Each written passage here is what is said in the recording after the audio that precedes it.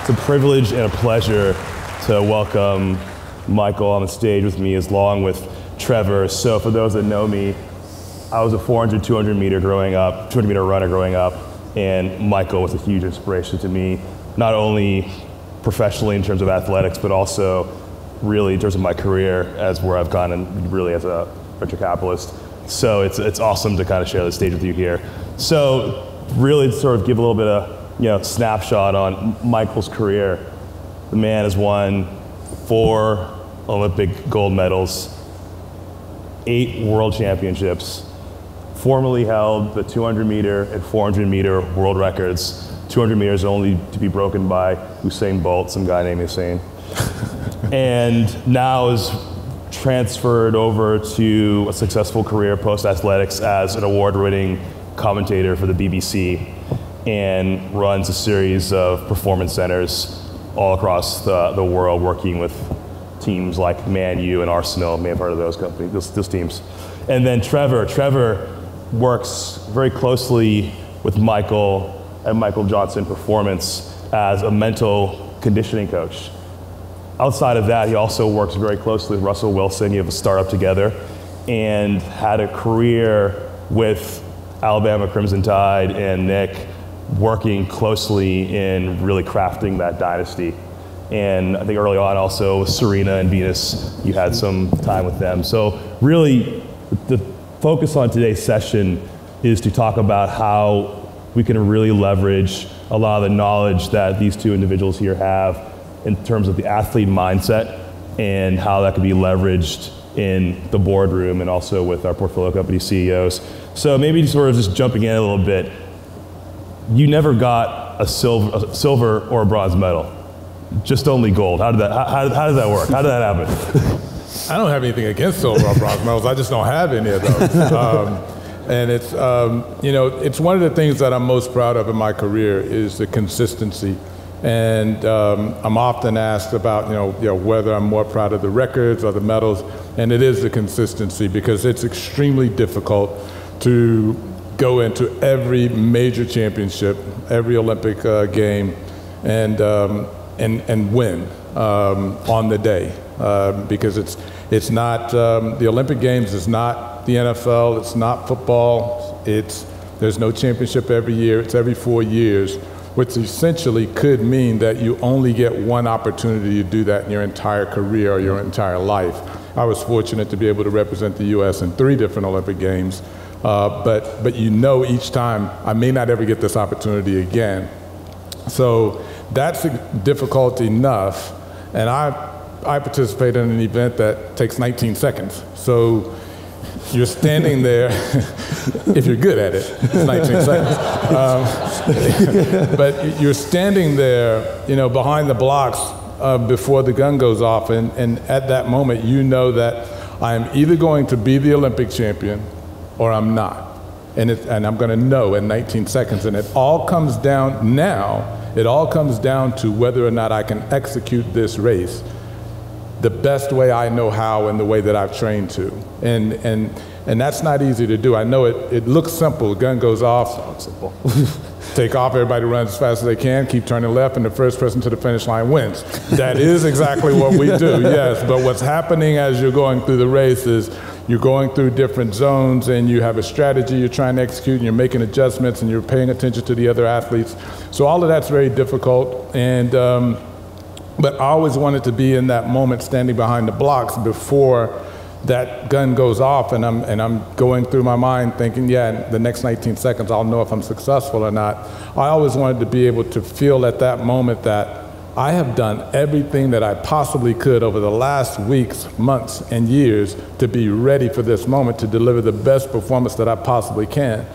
Um, and, and so that means that when you back up in all of those weeks and days before, that every day you're giving everything you can, taking every day as an opportunity to be better and to be ready for that moment. And how do you focus out the distractions? You have like 80,000 plus people potentially in a stadium. Before the gun goes off, it's just like deafening silence, and then flashing lights, and you know there's millions of people watching on television. There's seven other athletes on the field that for the last three and a half years have been preparing for this moment and are chasing after that gold medal. Where if you don't get it, that means you may not get your Nike contract, you may not get the Wheaties box, you're probably not able to feed your children, you're getting a pair of steak knives. So, like, how, how, did you really kind of just mentally prepare yourself and focus yourself and limit those uh, distractions? Yeah. So, the easy answer is to not think about all of those things first. um, but but you know it's that whole thing of you know if I tell you not to think about this, that's exactly what you're going to think about. You know that that is true. So um, so distractions, you know, going down coming down to actually focus. Um, you know, how do you focus on the moment, and how do you just you know get in that moment and focus only on what matters right now? And it's you know for me it was it was one of the things that I attribute. Um, a, a great deal of my success to, and that is, you know, understanding myself as a person and how do I get the best from myself in the moment. Yeah. How do I get into the right emotional state and, and, the right mental state to be able to perform at this moment and deal with this pressure situation? And that was developed over many years and a lot of introspection mm-hmm. and a lot of self analysis to understand all right, you know, who am I and what do I thrive on? What is my kryptonite, you know, yeah. and, and how do I deal with those things? And fortunately, you know, I had a bit of an advantage because I just happen to be one of those weird people that I just love being in that really nervous pressure situation. That's where I thrive. You know, and I can sit here today removed from my career and retired, and people ask me often, you know, do you miss it? And weirdly enough, that 20 minutes or so before the race when you know, you're really nervous and you know that again, that, you know, I'm gonna know in these 19 seconds coming up whether or not I'm gonna win or not. Weirdly, I missed that. Hmm. That was I missed that. That was that's that's my moment right wow. there. So yeah, that's what I missed. So so because I, I I enjoyed that and because I you know I thrived on it, but also just understanding, yeah, well how do I how do I put myself in the best position at that moment to be prepared to focus and go in and execute. Um, you know, that, that's how you, do, you, you deal with that sort of pressure. Now, Trevor, I want to shift to you as you know, the sport of track and field, you know, it feels very individual. And you've had the experience of being able to work directly with Crimson Tide and Nick and that team-based environment and how to yeah. really motivate that crew and really just build an amazing college football dynasty, one of the best, you know, just college football teams ever. So can you talk a little bit about what did you do there and some of the techniques you applied with the team?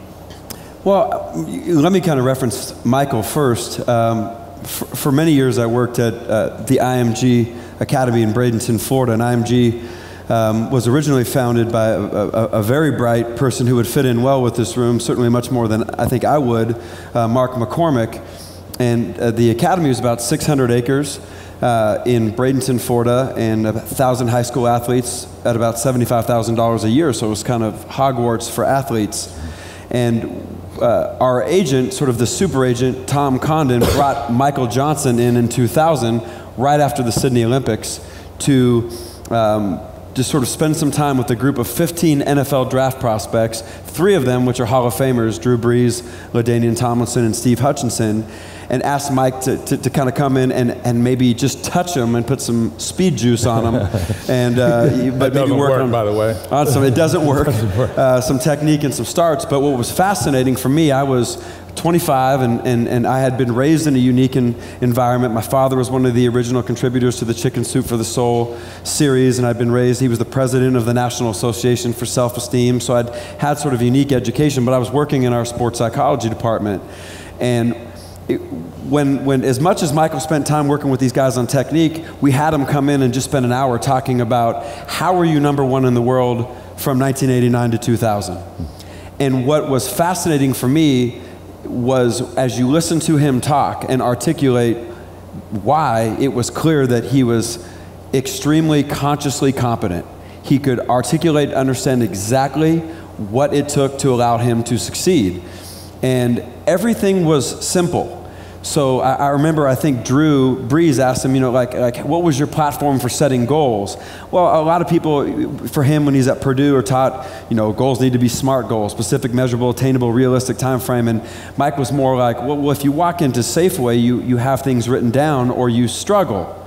So, I mean, and many of you in here don't do well in Safeway because you go in without something written down myself included. And so much was based on this unique simplicity. keep my head down, pump my arms, explode, I'm a bullet. And you understand that there's these fundamentals of thinking. We can only sustain one thought at a time. We have this constant dialogue. There is no such thing as blocking things out. When my mind focuses on an individual uh, specific task, everything's blocked out. Mm-hmm. So Michael wasn't thinking of the 2.8 billion people or the 100,000 people in that stadium or the fact that he was wearing gold shoes and he'd look bizarre getting a bronze medal wearing gold shoes, right? And, and he explained sort of the whole concept of the gold shoes, and you saw that it was this unique psychological architecture that allowed him to maximize his talent.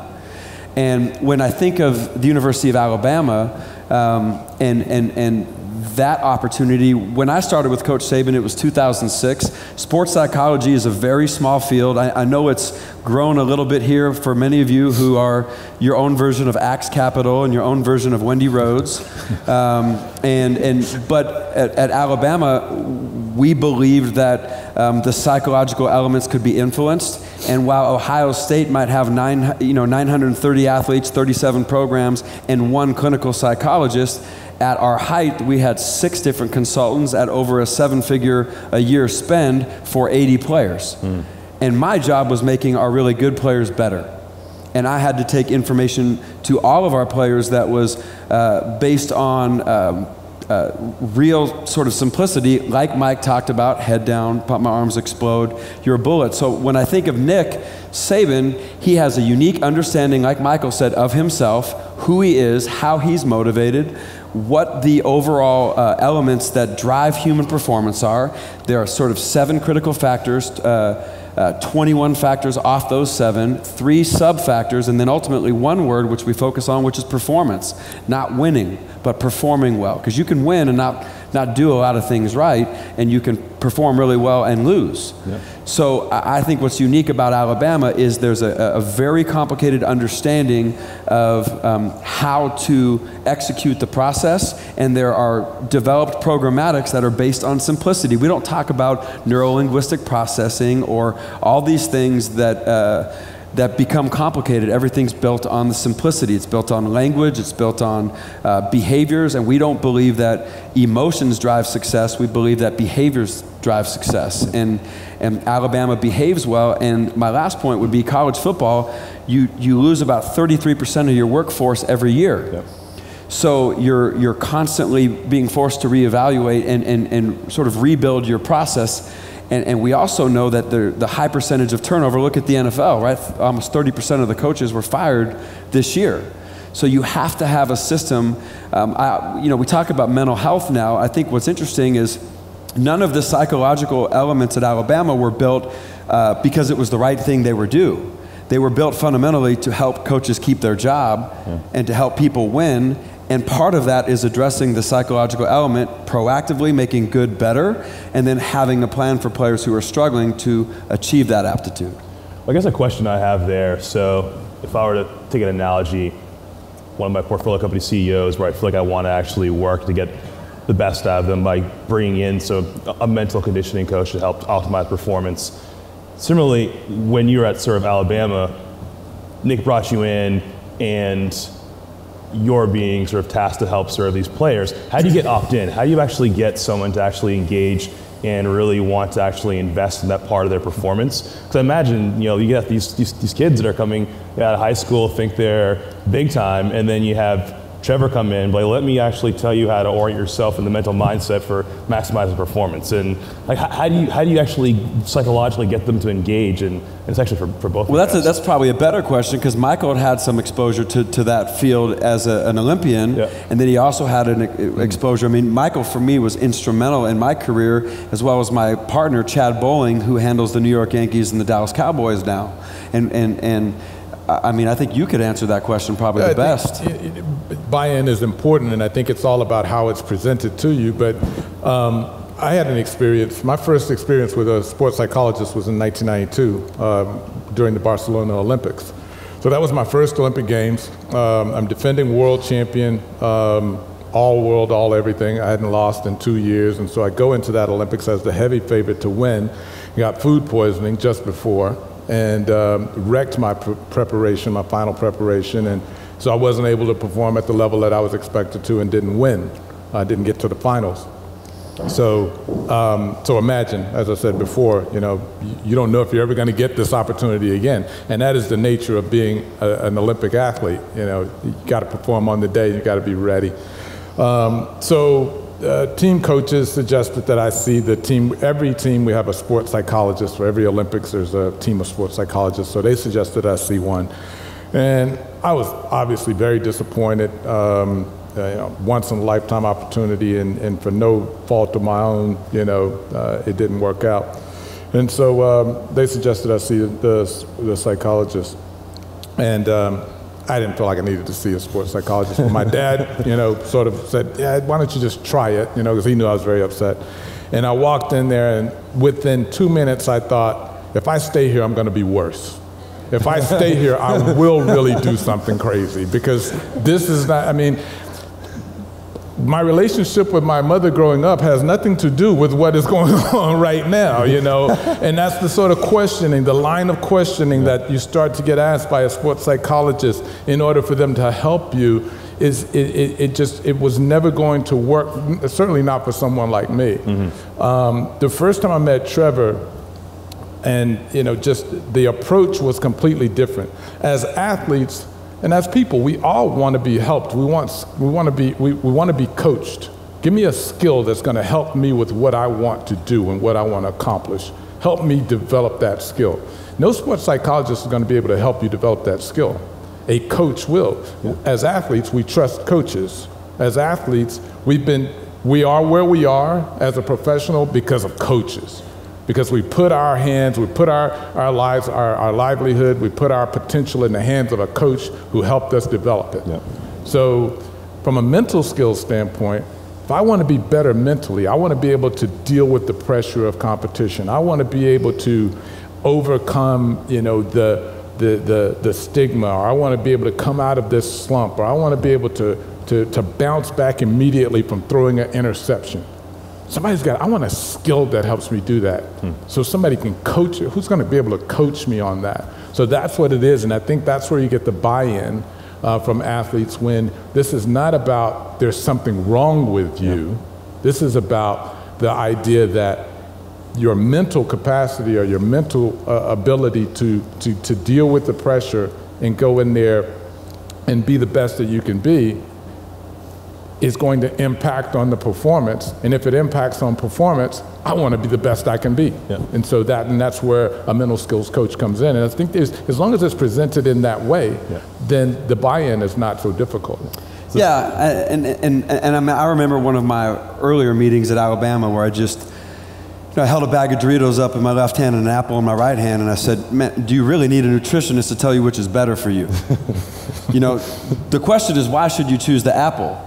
And, and all of the success comes when we learn how to do simple better. And when you look at all the data that's coming out of Harvard and coming out of all these places, uh, to me, even being raised in this environment, positive thinking has killed this movement. Positive thinking puts uh, its own layer of pressure on people.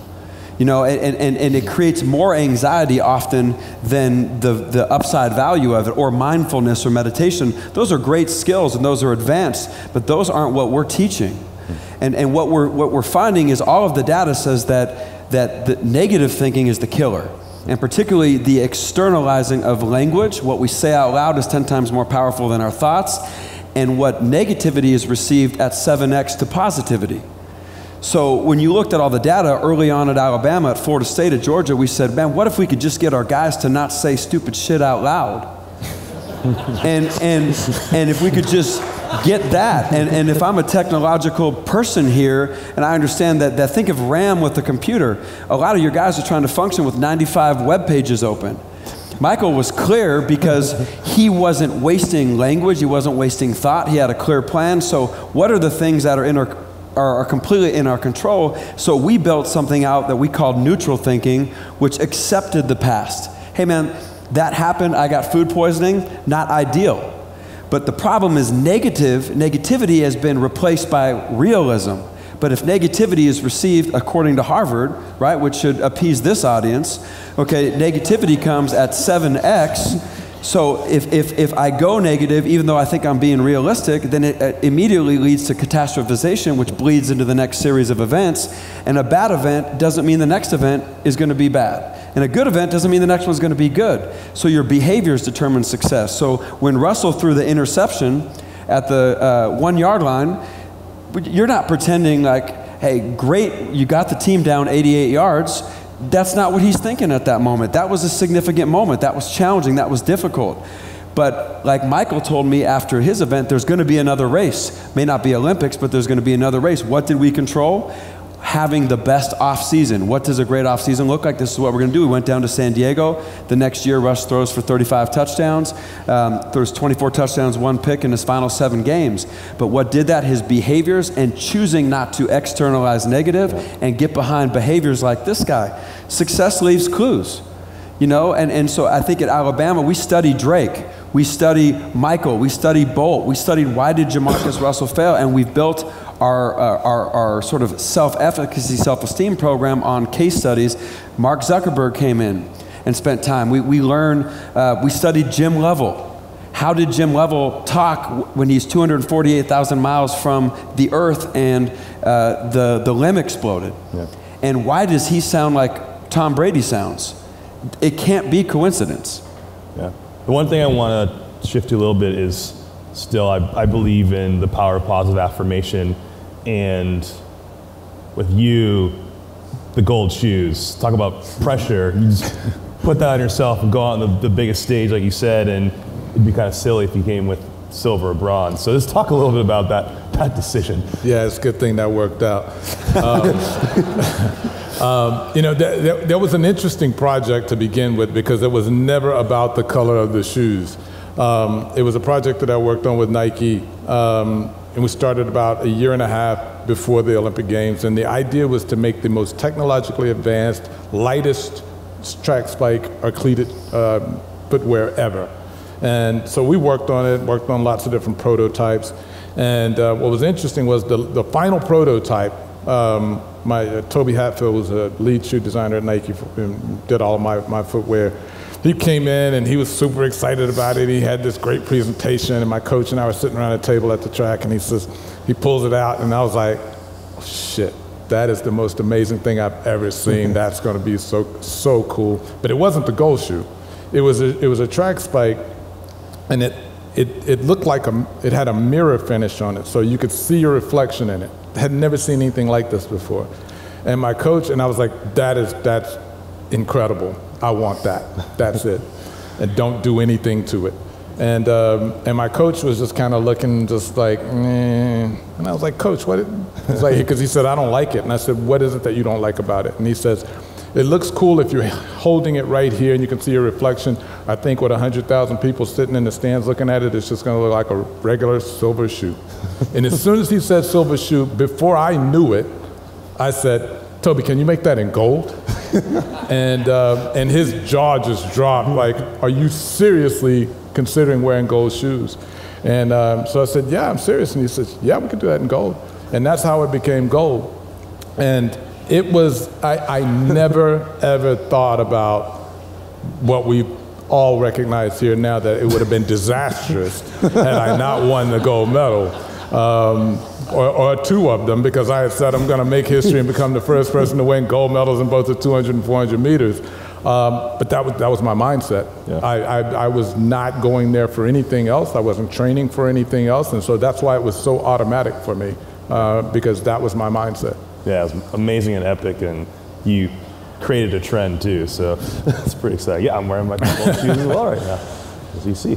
And, and I, I want to also kind of touch upon a little bit of, uh, you know, a personal story you had in the last six months here where you, know, you suffered a stroke. And but you recovered in record time, partially. Uh, That's what I do. Through, yeah, that's what you do. So, can you just share a little bit of that story with the, the group? Yeah, it was- you know, happened? I was- like you're really fit, so I'm like, oh, yeah, and you know, and the thing is, is so when, when you have a stroke or any sort of heart disease or heart heart attack or anything, you know, or in order to prevent that, rather, you know, if you want to prevent that, the first things they tell you is, you know, uh, don't smoke. I've never smoked. Keep your weight down. Work out. I was working out when I had the stroke. True story. Don't eat junk food. My wife is a health nut and a um, trained chef. So I was doing all of the right things. And um, I was working out at my, I literally was working out when it happened. I was working out at my gym at my home, right here in Malibu.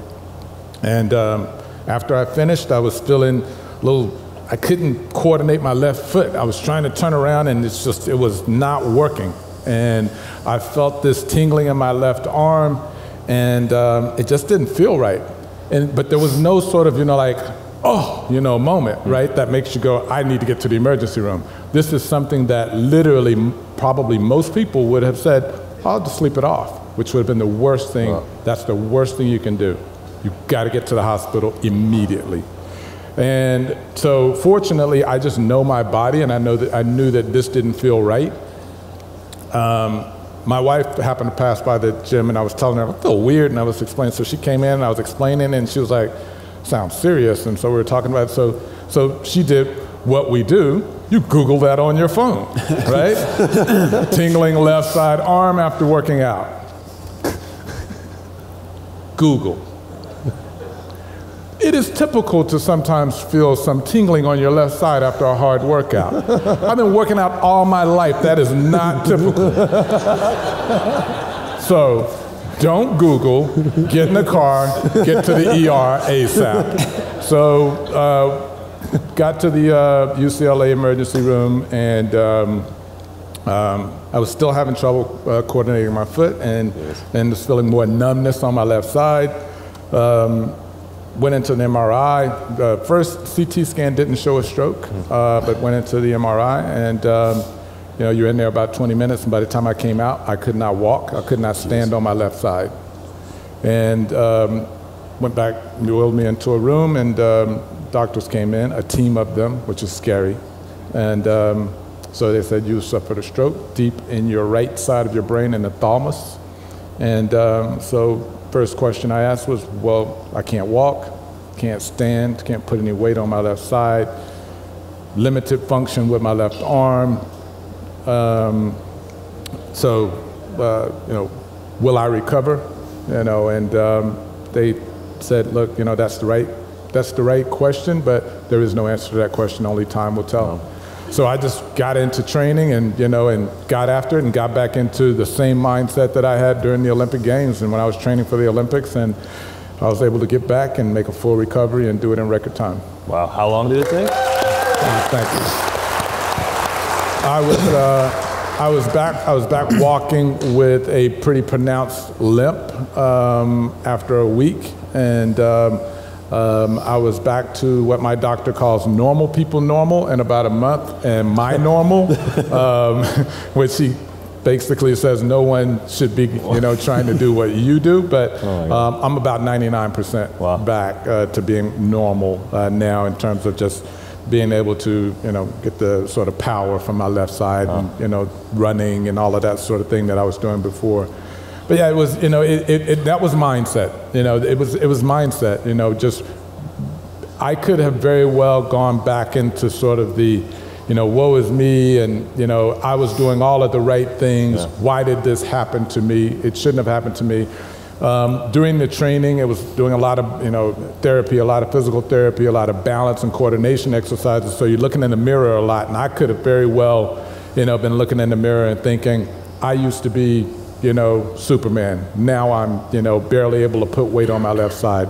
That, that I knew enough about myself that that wouldn't work for me. Yeah. Um, I've got a great team of folks at my company that are all athletes or former athletes, and we train athletes. And so those folks were all, all of my employees were, you know, sending the, the, the sort of messages that get me going, Yeah. and that is, I know you're going to be back, you know, and I expect nothing less. Um, we've got a race coming up, you and me, in three months. I expect you to be, you know, that sort of thing. And that's what gets me going is that sort of expectation and, and putting, you know, and putting that sort of pressure on myself to get back to where I was. Um, and I had to sort of tune out the, the messages of, oh, Michael, I'm so sorry that happened to you. You know, oh, so sorry. You know, that, that sympathy doesn't work for me. Yeah. You, you have to know who you are and you have to know what you thrive on in order to be able to overcome those sorts of situations. Absolutely amazing and inspirational. I think that's probably a great way to close things out. So, really appreciate you both taking the time and sharing your words of wisdom with the group here. And no racing Michael after the, the session's over. You'll probably get beat still. So, thanks a lot. Appreciate it. Thank you. Thank you.